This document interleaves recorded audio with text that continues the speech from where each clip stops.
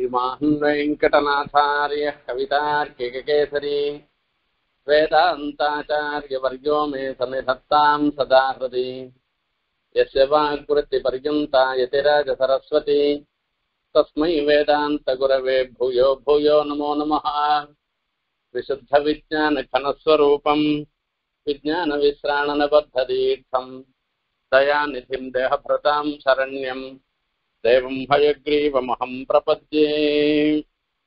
சுவாமி தேசிகனுடைய அத்தியுதமான ஹம்ச சந்தேச காவியத்துல சீதா பிராட்டியினுடைய அடையாளங்களை சொல்லுகிற விற்த்தாந்தங்களை நாம பார்த்துட்டு இருக்கோம். சீதா பிராட்டி எப்படி இருப்பா? என்ன மாதிரி அந்த சீதா பிராட்டிய ஹம்சம் சுலபமாக அடையாளம் கண்டுகொள்ள முடியும் என்பதெல்லாம் பத்தி ராமர் சொல்றார்.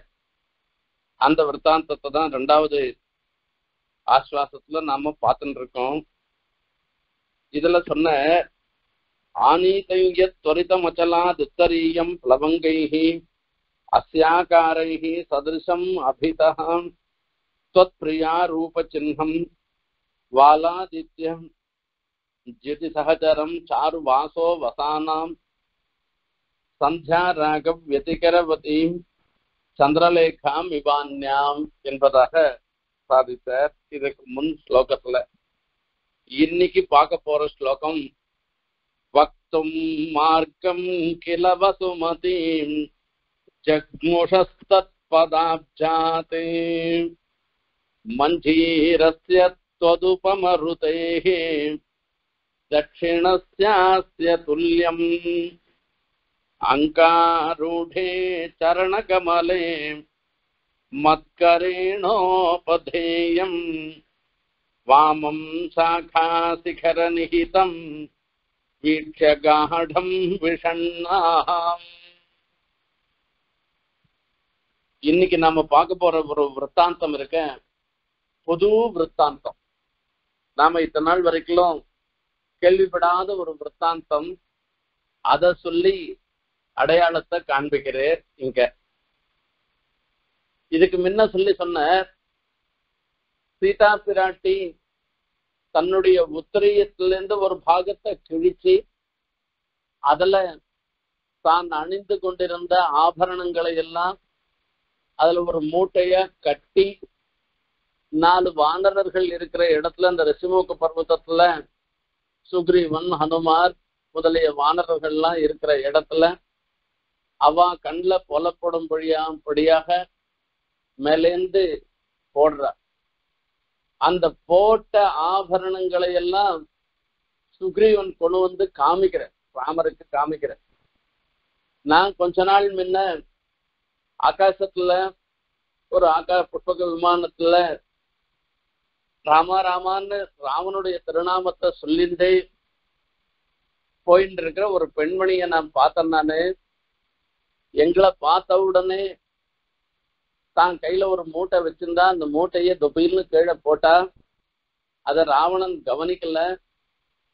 அந்த மூட்டை ஆபரணங்கள்லாம் அதோ பத்திரமா நான் எடுத்து வச்சிருக்கேன்.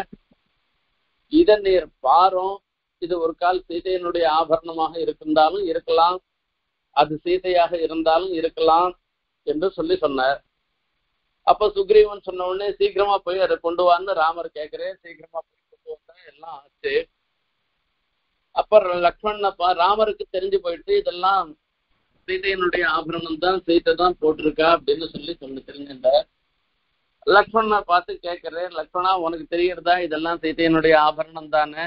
அப்படின்னு கேட்கிறேன் அப்ப லக்ஷ்மணர் சொல்றேன் நாகம் ஜானாமி கேயூரே நாகம் ஜானாமி குந்தலே நூபுரே நாமி நிச்சயம் பாதாபி வந்தனாத்துன்னு பா அந்த சீதையனுடைய கேயூரம் தெரியாது கட்டகம் தெரியாது கொண்டலம் தெரியாது எதுவும் தெரியாது.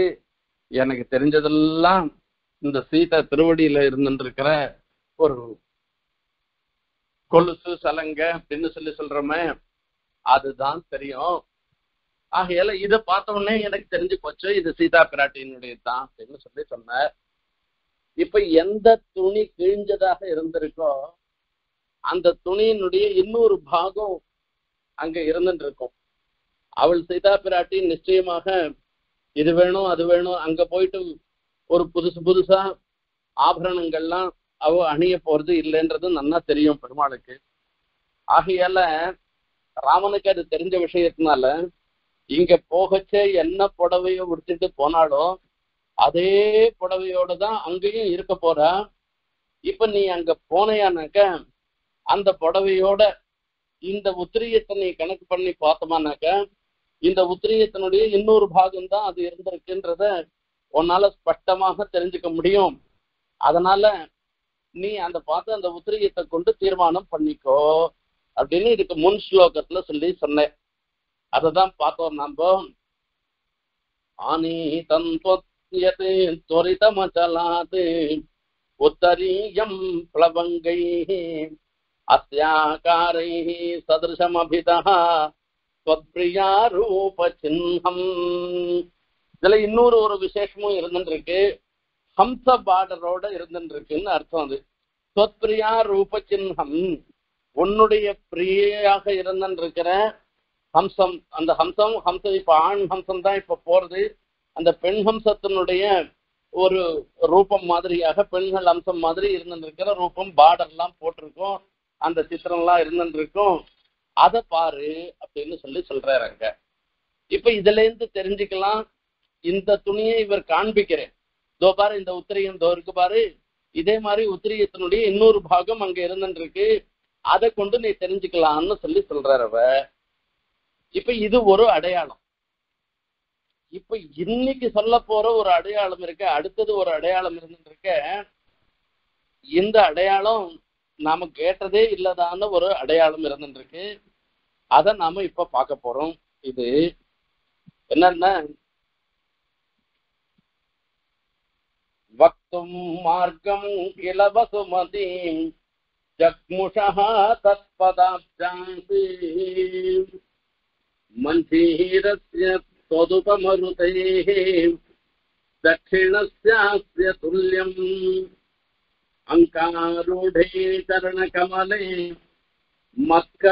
मत्करेणोपधेयम् वामं शाखाशिखरनिहितम् वीक्ष्य गाढम् விஷண்ணாம்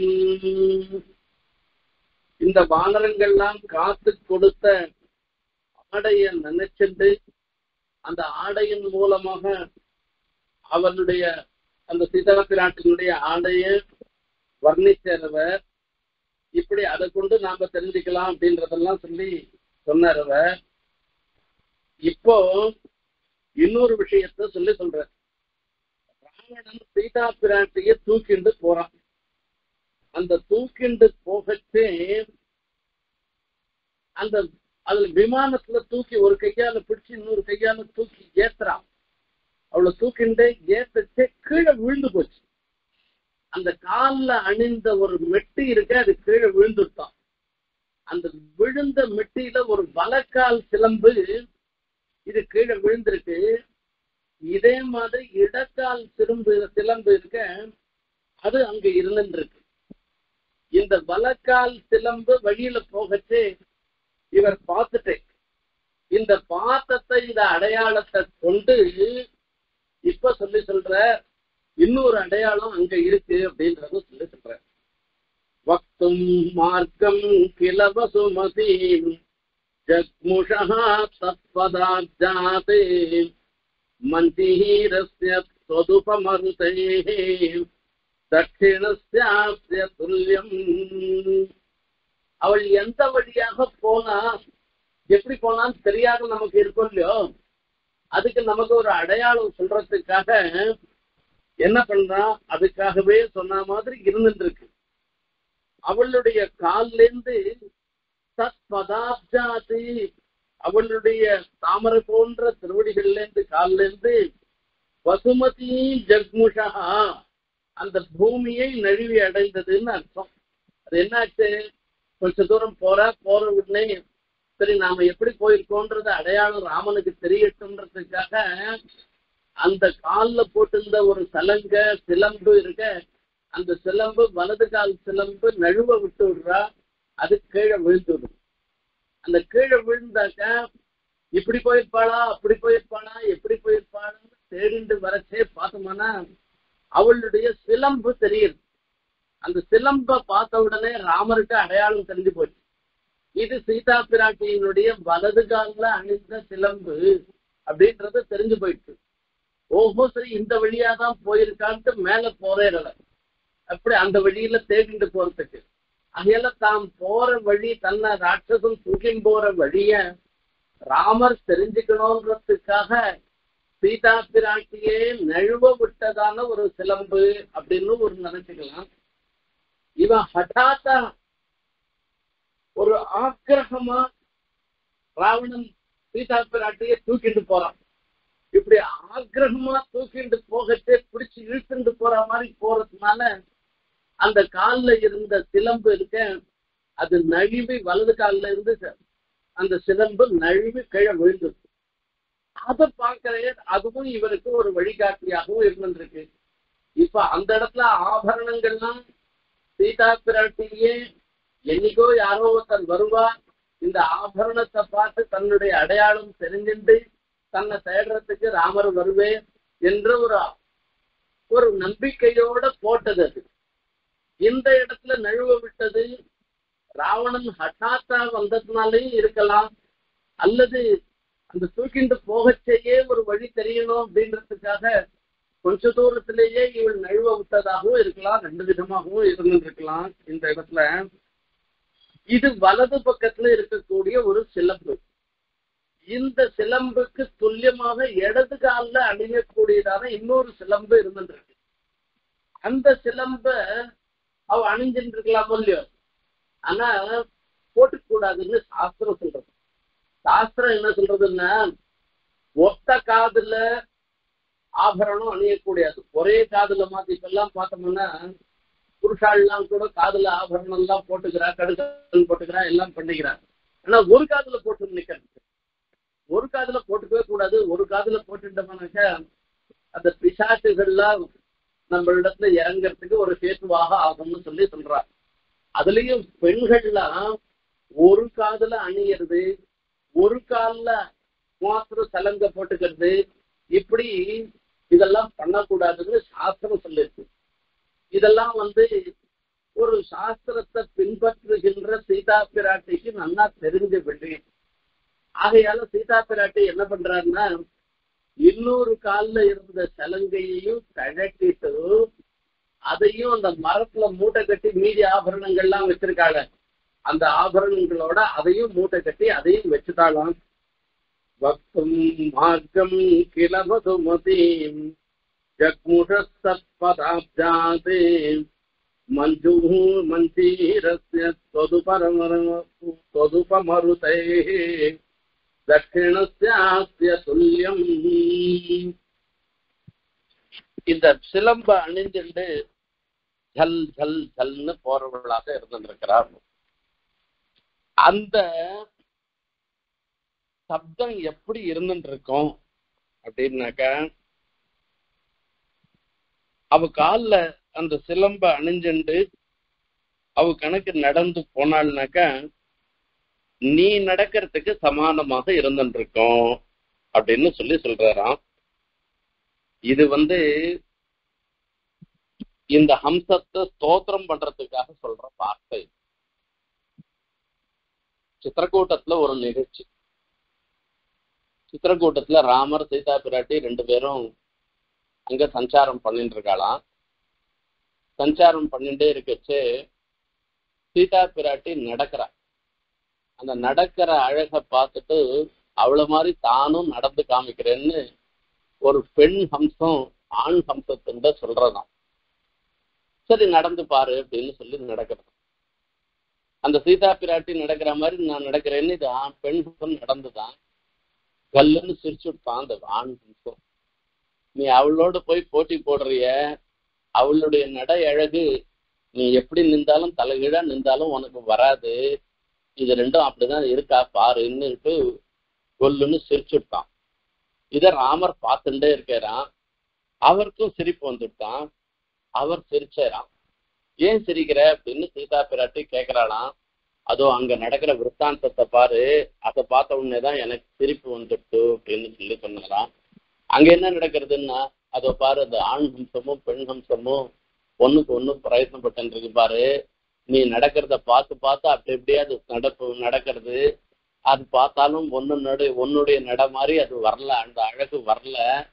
அதனால அந்த ஆண் வம்சம் அதை கை கட்டின்னு சிரிக்கிறது. அதை பார்த்து இது போய் சீதையை போய் நீ ஒத்துக்கு இது பண்றியன்னு சிரிக்கிறது. அதை பார்த்து எனக்கும் சிரிப்பு வந்துடுச்சுன்னு சொல்லி சொன்னாலாம் ராமர் சொன்னாராம். அதை பார்த்த உடனே சீதா பிராட்டிக்கு வெக்கம் வந்துட்டான் அதனால அப்படின்னு ஒரு விற்த்தாந்தம் சொல்லி சொல்றேன். இப்போ சீதா பிராட்டியினுடைய நடை அழகை எந்த பிரகாரத்தினாலையும் அனுகாரம் பண்ண முடியாதுன்றது சித்தம்.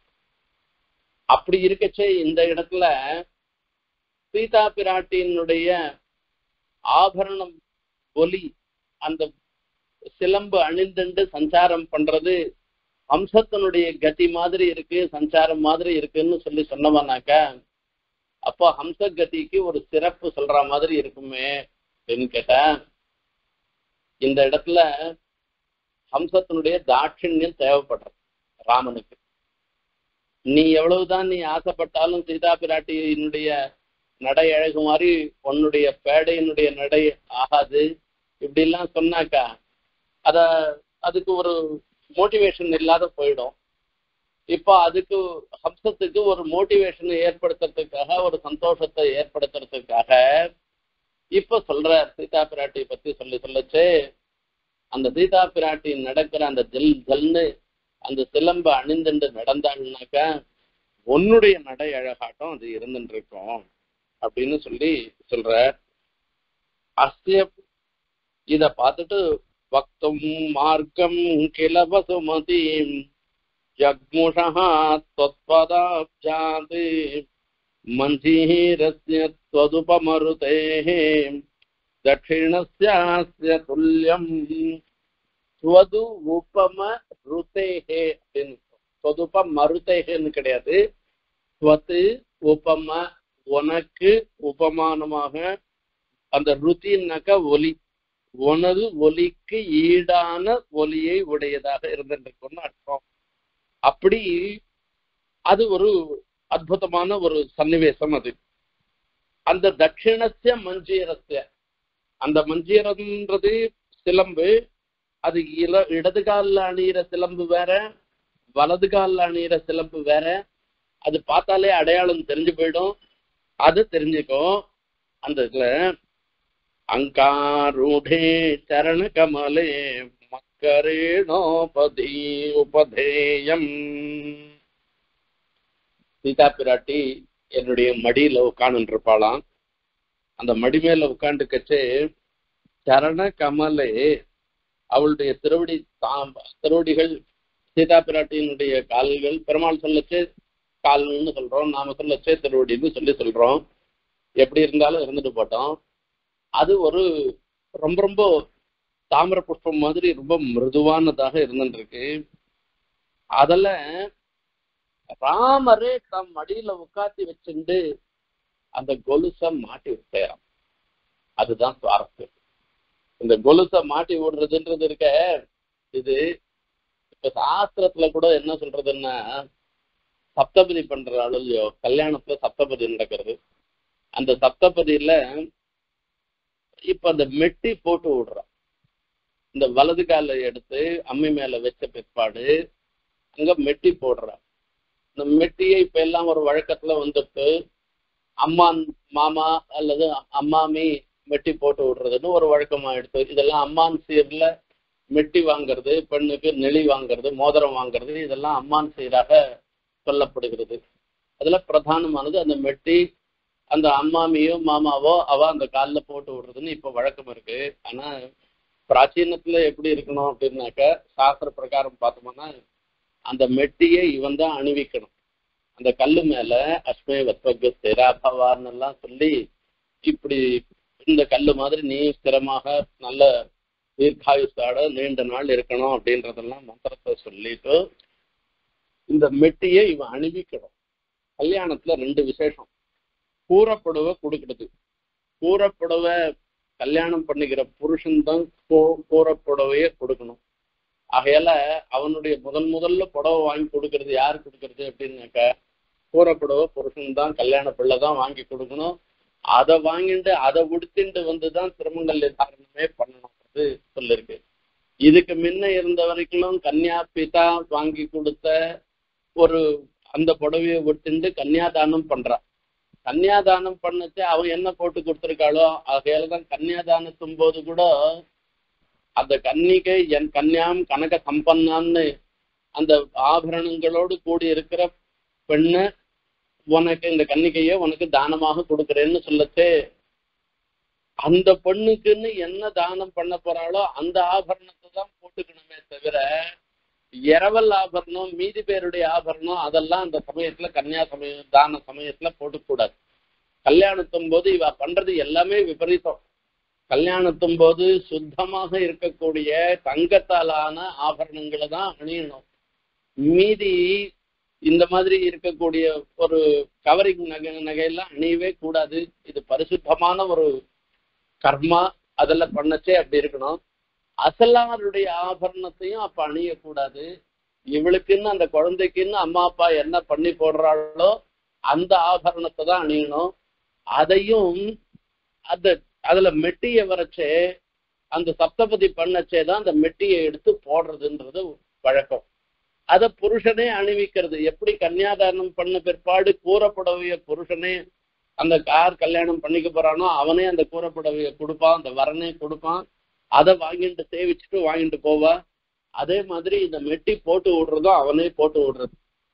அந்த மாதிரி ரீதியில தானே போட்டு விட்டதும் தானே போட்டு விட்ட மெட்டி இது அப்படின்னு பெருமான் சொல்ற வார்த்தை இது.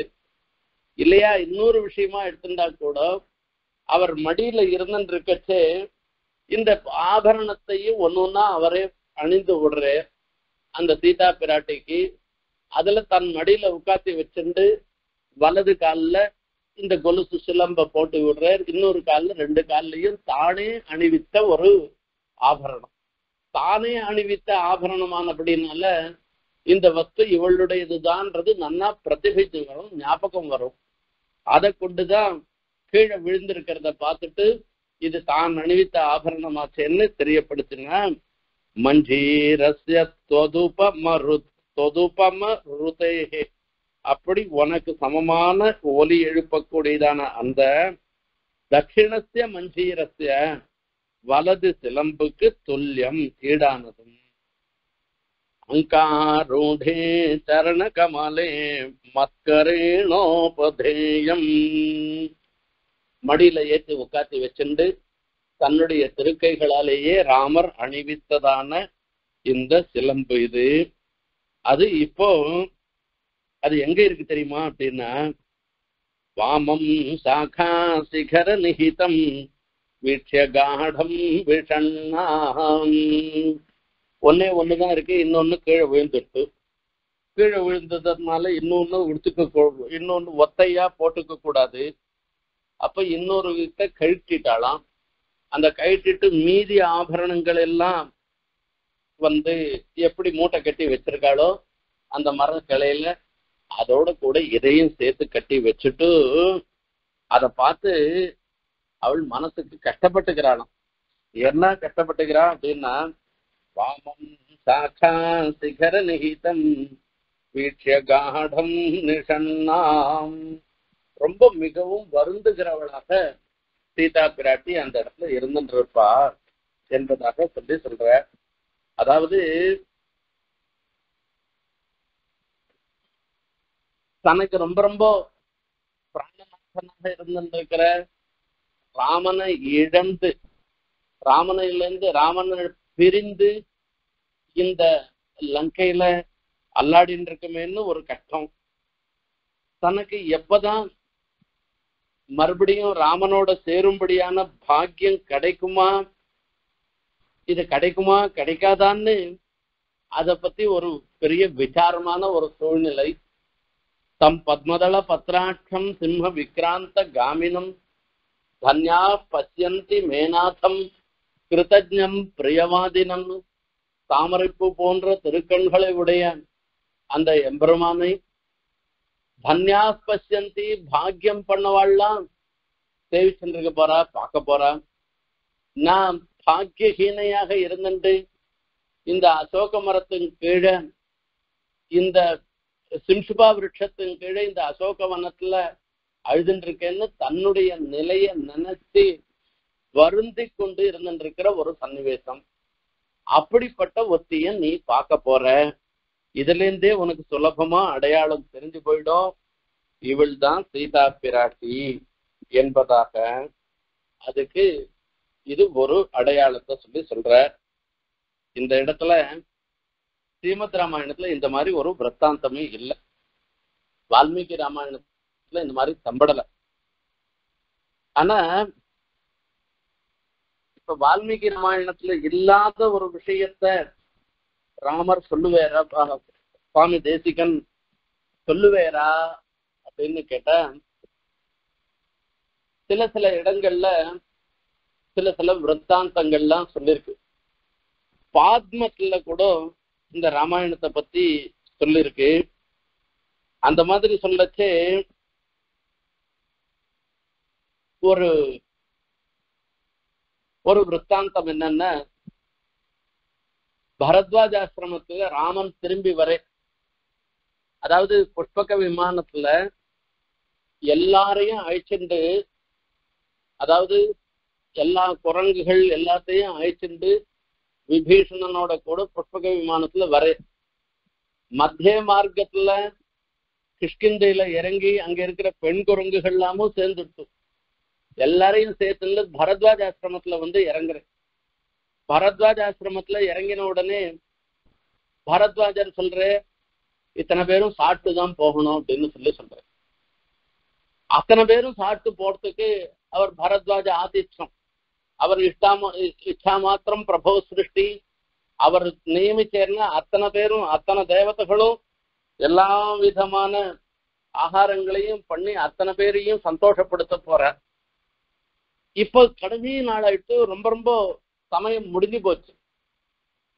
பரதன் அந்த பதினாலாவது வருஷம் முடிஞ்சு போயிடுச்சுன்னாக்க ஒரு க்ஷணம் கூட இருக்க மாட்டேன். நான் பிராயோபவேசம் அக்னியில நான் பிரவேசம் பண்ணிடுவேன்னு பரதன் ஏற்கனவே பிரதிஜை பண்ணிருக்கேன் ராமரிடத்துல. ராமரும் சொல்லியிருக்கேன் பதினாலாவது வருஷம் முடியச்சே நான் கண்டிப்பா வந்துடுறேன். முடிஞ்ச உத்தரக்ஷணத்துல நான் அங்க வந்துடுறேன்னு சொல்லியிருக்கேன் இப்ப இந்த பரத்வாஜ ஆசிரமத்துல இத்தனை பேரும் சாப்பிட்டுட்டு அப்புறம் போனோம்னா பரத்வாஜரும் மகர்ஷி. அதனால ஒரு கால் நாழி ஆயிடுச்சுன்னாக்க பரதன் அக்னி பிரவேசம் பண்ணிட்டேன்னா என்ன பண்றதுன்னு பெருமாளுக்கு ஒரு பயம். அதனால இதே மகர்ஷியினுடைய வார்த்தையும் மீற முடியல. சரி எல்லாரும் சாப்பிட்டு தான் போனோம்னு சொல்லிட்டு அதுக்காக சாப்பிடுறதுக்கு எல்லா ஏற்பாடும் பண்ணிருக்கா அவ முள்ள சாப்பிட்டு தானே வரணும். அப்பா ஹனுமார கூட்டு சொல்லி சொல்றேன். நான் வந்துட்டேன். இந்த பரத்வாஜ ஆசிரமத்துல இருந்துட்டு இருக்கேன். உமக்கு தெரியும் பரத்வாஜருடைய ஆதித்யம்ன்றது என்ன? இதே பரதனும் இந்த பெரிய சேனையோட கூடவே சித்திரக்கூட்டத்துக்கு போய் ராமனை பார்க்கணும்னு சொல்லி போகச்சே. அத்தனை சேனைகளையும் நீ சாப்பிட்டு தான் போகணும்னு பரத்வாஜர் நியமனம் பண்ணிட்டார். அத்தனை பேரும் சாப்பிட்டு தான் போனாங்க. அதே மாதிரி ராமரையும் அவர் நியமனம் பண்ணிட்டே சாப்பிட்டு தான் போகணும்னு நியமிச்சுட்டேர். அத்தனை பேருக்கும் பெரிய ததியாராதனம் நடந்துருக்கு அவர் ராமர் வந்துட்டார். இந்த ததியாராதனம் முடிஞ்சு உடனே இந்த நந்தி கிராமத்துக்கு தான் உடனே புஷ்பக விமானத்துல ஓடி விட போறேன் ஆகையால நீ வந்து அக்னி பிரவேசம் எல்லாம் பண்ண வேண்டாம் அப்படின்னு சொல்றதுக்காக ஹனுமார முன்ன அனுப்பிச்சேன்றதெல்லாம் விற்த்தாந்தம் இருந்துருக்கு ஆனா அந்த விற்த்தாந்தத்துல பரத்வாஜ ஆசிரமத்துல ததியாராதனம் நடக்கிறதாம். அந்த ததியாராதனம் நடக்கச்சே எல்லாரும் சாப்பிட்றா. ராமர் மாத்திரம் சாப்பிடாத உட்காந்து இருக்காராம் ஏன்டா சாப்பிட சாப்பிடாத உட்காந்து இருக்கேன்னா ஹனுமார் போய் இந்த சமாச்சாரம் சொல்லிட்டு உடனே வந்துட போறே.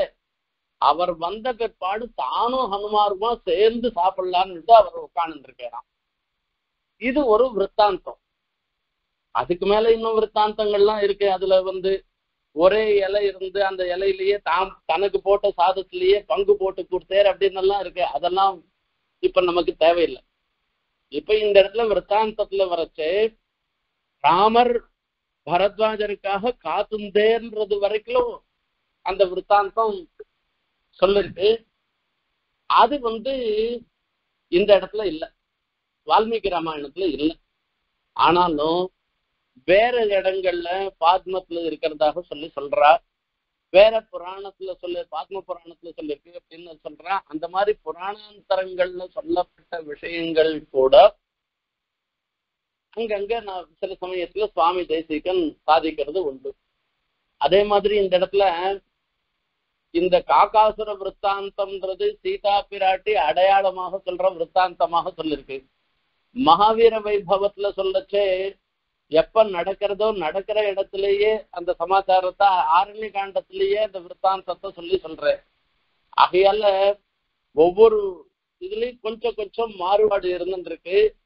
இந்த விற்த்தாந்தம் தேசிகனா கல்பிச்சது இல்லை. இதுவும் ஒரு விற்த்தாந்தம் எல்லாராலையும் ஏற்றுக்கொள்ள வேண்டிய விஷயம்தான். அந்த மாதிரி கல்பிக்கிறவரெல்லாம் இல்லை. கவியா சொன்ன விஷயம் இல்ல. வஸ்துதா நடந்த விஷயம்தான்னு சொல்லி சொல்றது. இதெல்லாம் பார்த்தோம்னா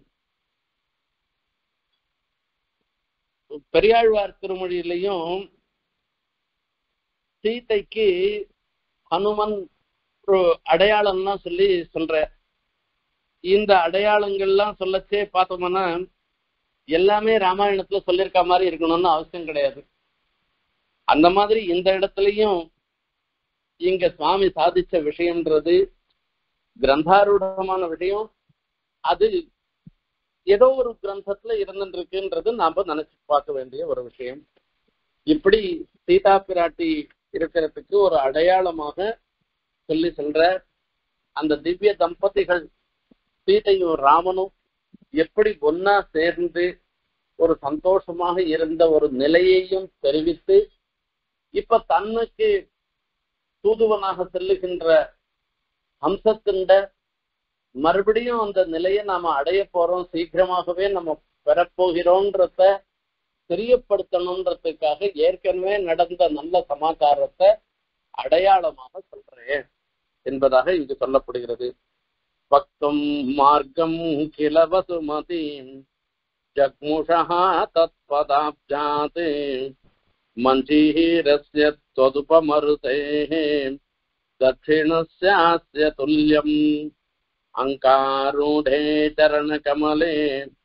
मत्करेणोपधेयम्। वामं शाखाशिखरनिहितम्। वीक्ष्य गाढम् विषण्णाम् इन्निकि कडवल्लिकर्मोत्सवम् காஞ்சிபுரத்துல தாயா அற்புதமா சேவை சாய்க்க போறார் அந்த தாயாருடைய கட்டாட்சம் நம்ம எல்லாருக்கும் எல்லா சமயத்திலையும் இருக்கணும்னு பிரார்த்தனை பண்ணிட்டு விடைபெறுகிறேன். கவிதார்க்கிக சிம்ஹாய கல்யாண குணசாலினே ஸ்ரீமதி வெங்கடேசாய வேதாந்த குரவே நம.